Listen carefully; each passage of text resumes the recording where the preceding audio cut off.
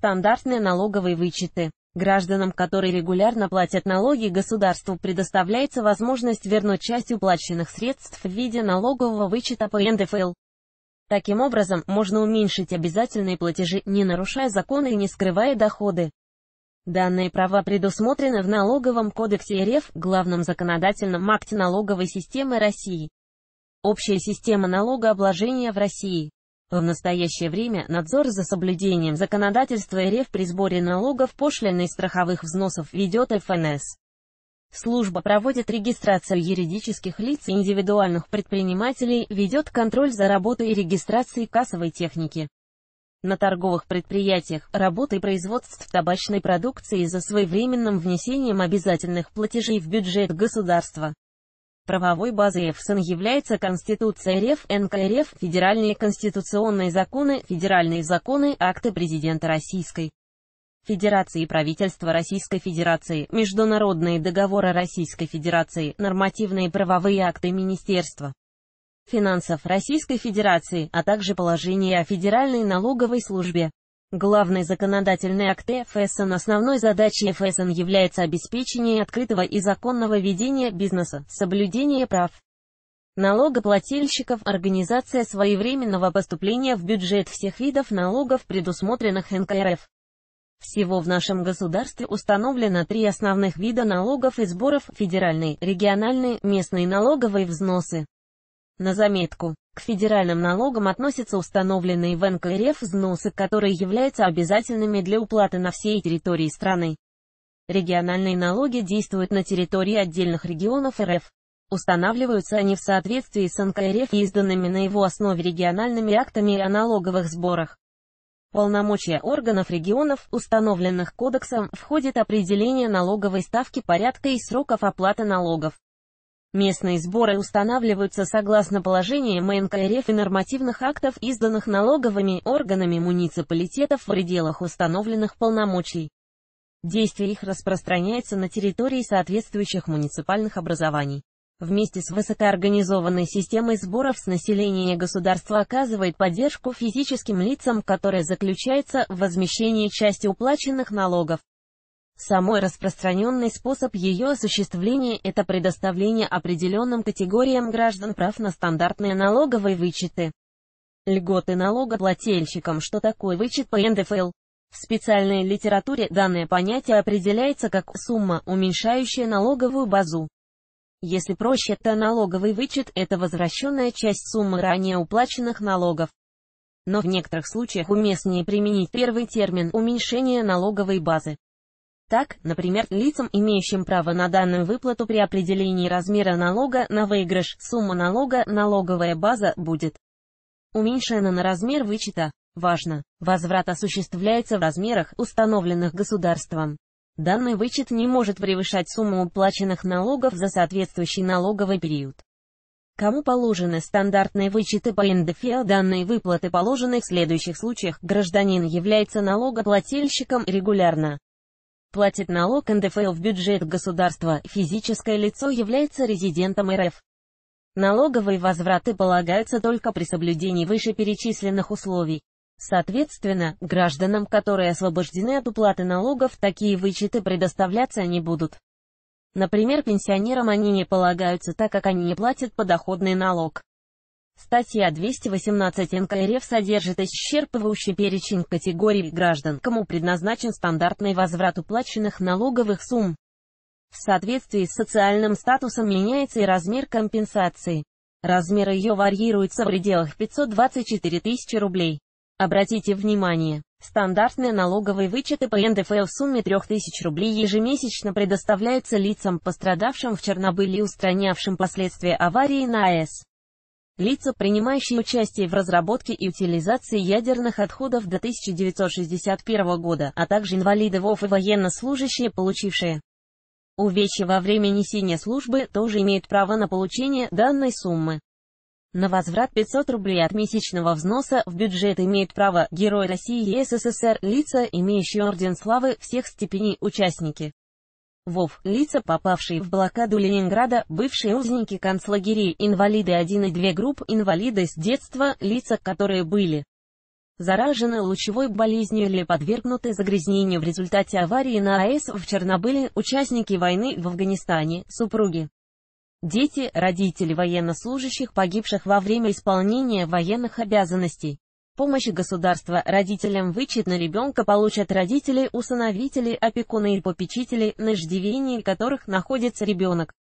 Размеры выплат меняются в зависимости от количества детей родителей, один или полноценная семья.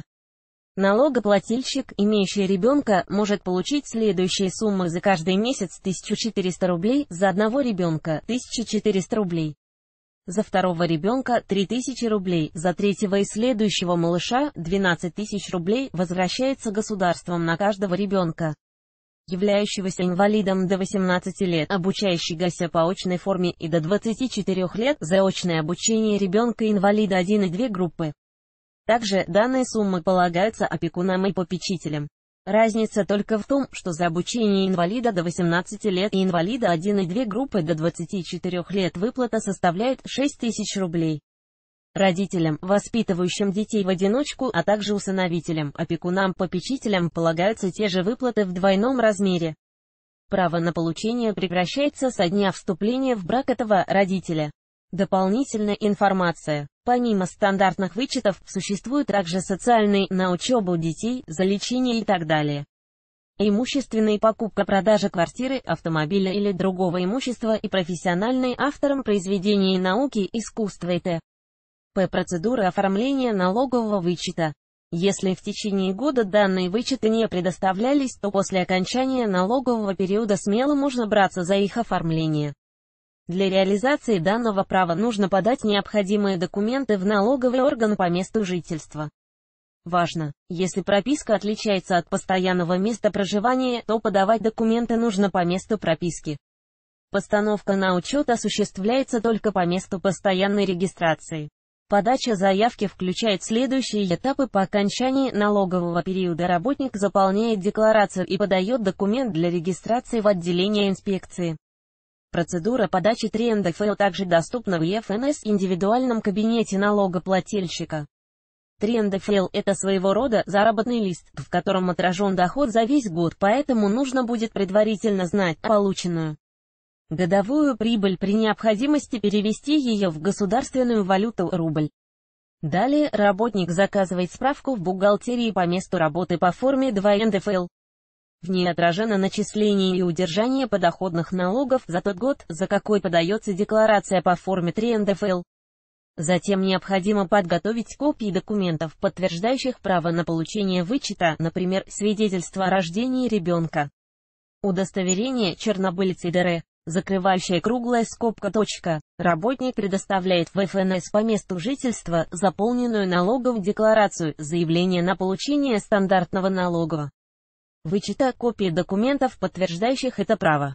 Также потребуются оригиналы личных документов. Документ, подтверждающий право на вычет в случае, когда необходимо вернуть излишне уплаченные деньги по налогам то с декларацией. О доходах подается заявление на возврат денежных средств. Другие нюансы предоставления вычета. Если гражданин имеет право на получение нескольких налоговых вычетов, то применяется к оформлению права на большую сумму выплаты. Военнослужащие и военнообязанные граждане, принимавшие участие в устранении последствий аварии на АЭС в Чернобыле в 1986-1987 годах, имеют право на получение нескольких вычетов, предусмотренных в стакане. 128 под пунктом 4 пункта 1 под пунктами 1 и 2 пункта 1.